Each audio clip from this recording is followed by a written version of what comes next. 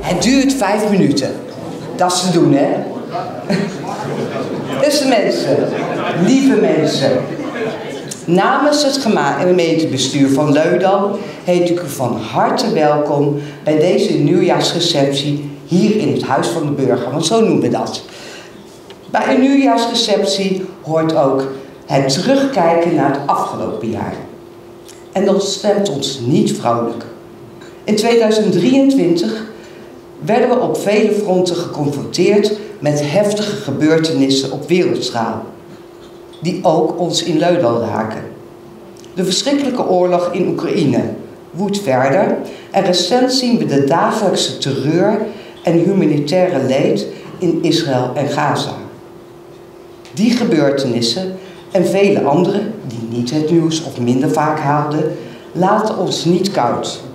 Sterker nog, we zijn betrokken, maar ook verdeeld. In eigen land en gemeente zien we de gevolgen van inflatie en hoge energieprijzen voor de bestaanszekerheid van al onze inwoners. Dat gevoel van onzekerheid en onrust kwam ook in onze gemeente tot uitdrukking in de verkiezingsuitslagen. Dat signaal is voor ons een alarmbel.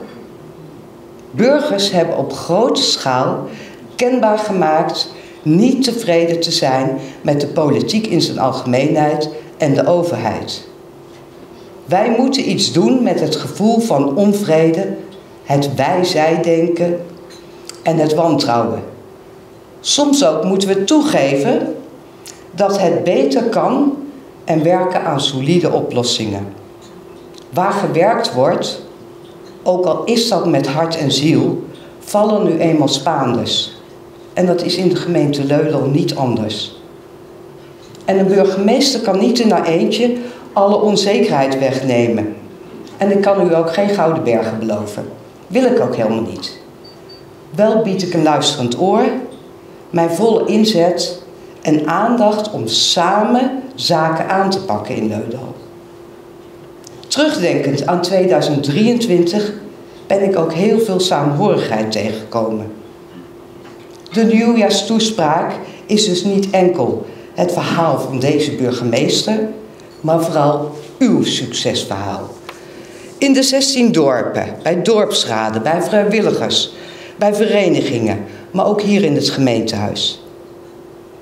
Deze saamhorigheid heeft geleid tot waardevolle en prachtige initiatieven. Veel inwoners zetten zich belangeloos en ook met hart en ziel in voor nieuwe projecten en bestaande trajecten.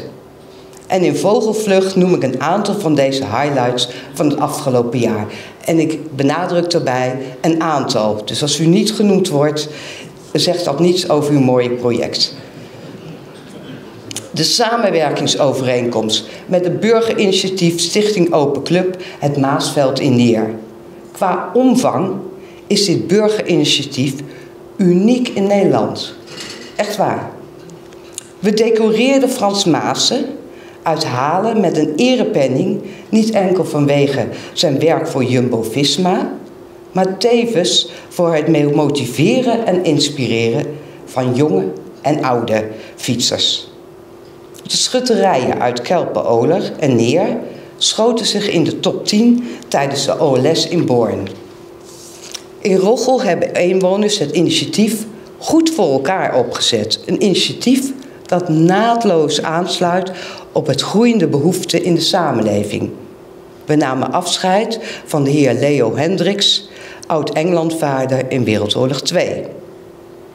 Met de regiopartners is er een voorstel ingediend in het kader van de regio-deal.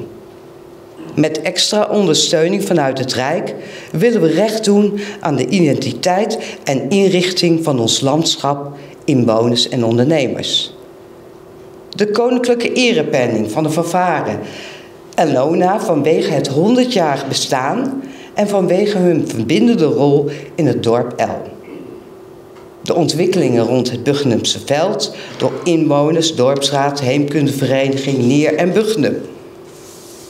Het collectief particulier opdrachtgeverschap Grasheim in Gratum een nieuwe vorm van bouwen waarbij inwoners zelf de rol van projectontwikkelaar op zich nemen. Het 30-jarige jubileum van onze stedenband met Pokusela en Polen.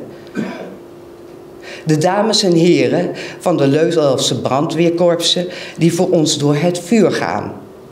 In 2024 staat het Heidhuizense korp, al 100 jaar paraat. Tot slot de magische kerstmarkt in Nunum een paar weken geleden. Een groot en prachtig event voor en door inwoners, waarvan de opbrengst naar de restauratie van de Servaaskapel gaat. Het behoud van een mooi stuk plaatselijke historie. Nou, kortom, zo kan ik nog wel even doorgaan, maar u wil voor 11 uur thuis zijn, neem ik aan. Maar de boodschap is duidelijk. Leudal bruist van leeftigheid, saamhorigheid en waardevolle initiatieven. Afsluitend, veel van uw zorgen zijn ook Leudalse zorgen. Ook wij zijn regelmatig bezorgd over onze relatie met Den Haag. Nederland bestaat niet alleen uit de randstad Holland, zoals sommigen daar denken. Ik pleit hier voor een werkelijke dialoog. Met respect voor elkaars mening komen we verder. Niet met de rug naar de gemeente, maar op zoek naar raad en ons opzoekend naar raad en daad. Niet alleen klagen, maar ook gezamenlijk dragen. En dat verdient het leven in Leudal. En als burgemeester wens ik u allen in 2024 alle gezondheid, geluk en liefde toe. En ik ben ervan overtuigd, zoals we hier staan, dat we die uitdaging waar kunnen maken. Nou hef ik graag bij u het glas op. Lieve mensen, op een goed 2024.